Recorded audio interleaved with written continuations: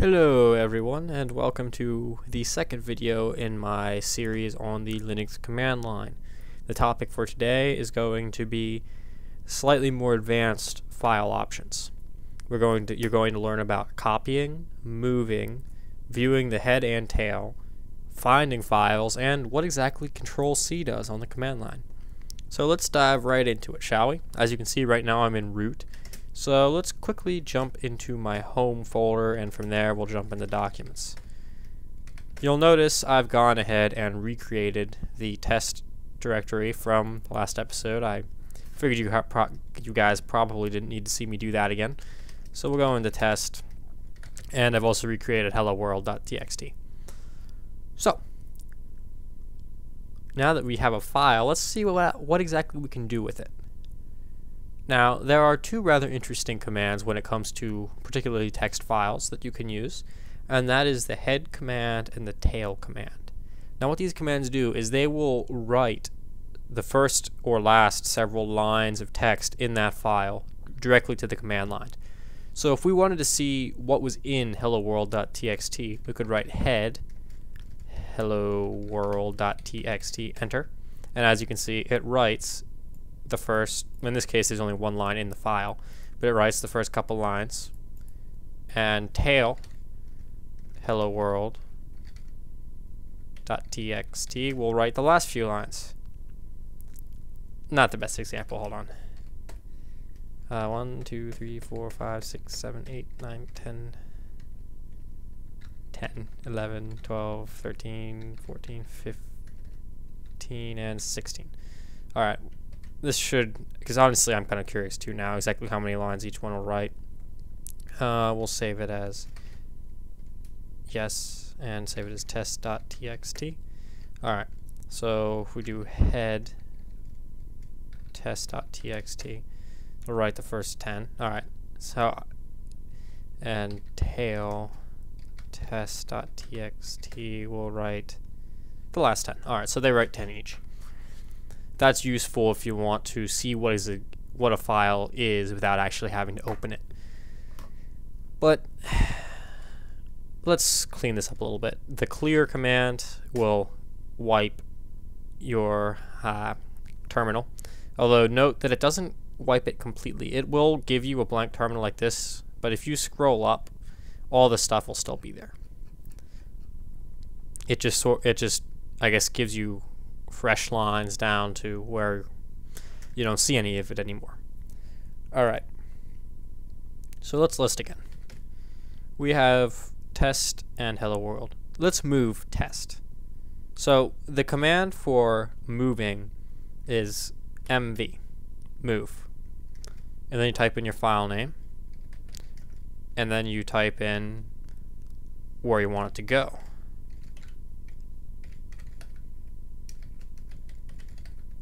Boom. Test is no longer here, but if we go back to documents, oops, there it is. Let's move it back.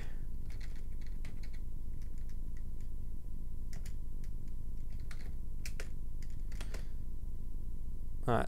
Again, it moved back into the test folder. You, you'll notice that I typed, I just had to type test, the name of the directory, when moving it out of documents, but I had to type the full extension when moving it into documents because there is if you just type in documents it's going to search the directory you're in for a directory called documents and that wouldn't exist nothing would have happened.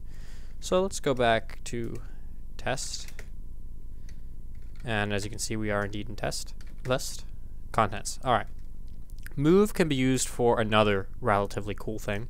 If we type in move test.txt and then type in test.txt, notice I ca or let's do something a little more dramatic. Um, how about good? I, I don't know. I'm not very creative. .txt and hit enter. You can use the move command to rename your files. So in this case, good test became good. Okay. Now, let's try out copy. What move is like cut it removes the file from the directory it's in and places it in another directory. If you want to keep the file where it is, but also put it somewhere else, you need the copy, which is CP. So let's move good.txt into root kids, uh, no, I'm sorry, root home kids documents. Okay, so you notice it is still here, but it's also there. So I successfully copied it. Left one copy of the file in test and the other copy in documents. And as you saw in my previous video, you can just remove it like that. Alright. Now, let's say you knew what your file was called, but you didn't know where it was, which is perfectly reasonable. So let's just get really far away from it, as far away from it as you can get here in root. So you know you have a file that goes by the name of good.txt, but you're not sure where it is. That's what the find command is for. If you type in find, and then you have to type in where to look you if you know about where it is, you can def definitely go to narrow the search parameters. So I know that it's in kids. So if we type in root home kids, so it'll search everything within the kids directory, the kids home directory for a file. Now, you need to set in the criteria. In this case, we're going to search by name. You can search by permissions, file size, just about anything. But we know what it's called, so we'll search name. And we know that it the file is called good.txt. Now note that if your file name has a space in it, you can't put a space in the file name because it's going to read it as two separate modifiers. Modifiers in Linux are separated by a space. What you do is you'd put a minus where the space should be or an underscore. I think for file names it's an underscore, and in commands it's a minus. Alright, so we know it's called good.txt. For what to do, uh, you could leave it blank. You could, if you wanted to, type in print, but you don't have to because print is the default. You can do other things. I'm not entirely sure what all they are, but I think you can uh, write it to a file if you wanted to, or do all kinds of cool stuff like that. But I'm not entirely solid on any of that just yet. Hit enter. And there, it spits out exactly where it is. Home, kids, documents, test, good. Now, there's one thing to note. If you were to search your entire computer, so I'm using just root and not root home kids for something that goes by the name of good.txt, that's going to take a while. So if you want to stop it, Control C. And there, it cuts, it cuts it out. As you can see, Control C is your catch-all. No matter what you're doing on the command line, you can probably stop it by typing Control C. It will end whatever process you're running, which is very useful if you're running a process that you don't want to run anymore or if it's taking a lot longer than you had intended. Just be careful because sometimes if you cut a process off halfway through, it'll mess everything up. So you want to watch what processes you actually stop using Control C. Okay, let's recap. Move allows you to move a file into any directory. If you're moving, although if you're moving backwards, you have to specify the entire directory. If you're moving forwards, you just have to, or the entire address of the directory. If you're just moving forwards, just specify the name of the directory. Move will also let you change the name of your file. Copy will move your file into a new directory while leaving a copy of it in the original directory. Find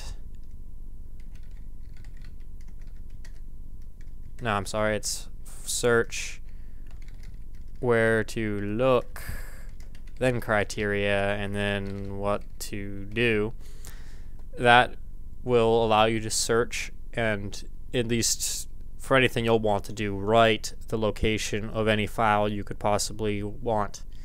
if I don't know, sometimes people lose files on the computer. I've done it before. This will let you find it. And I might add, it works a heck of a lot faster than the search utility that comes bundled with Windows. you saw that there. It was almost instant. When, uh, if I just narrowed it down to a couple, or narrowed it down to which user the file belonged to. Control C. Control C will terminate any process. Head and tail, well, that'll let you look inside of a file without actually opening it. And clear will wipe the contents of your command line, making it all neat and tidy. Thank you for watching episode 2. Next episode, we're going to get into some, we'll call them administration administrator processes that you can run on your command line. So once again, I want to thank you for watching. Have a great day.